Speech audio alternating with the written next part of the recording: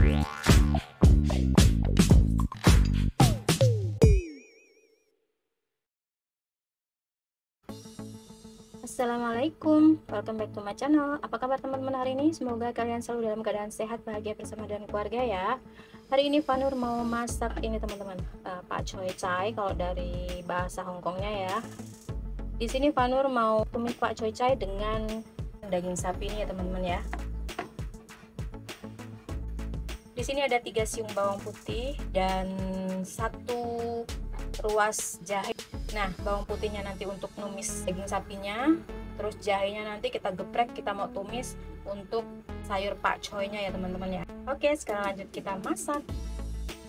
Oh ya di sini pak choy nya udah panur cuci ya. Jangan lupa kalian rendam dulu sebelum mau dimasak. Kalian rendam dengan menggunakan garam ya teman-teman ya. Sini panur mau geprek dulu.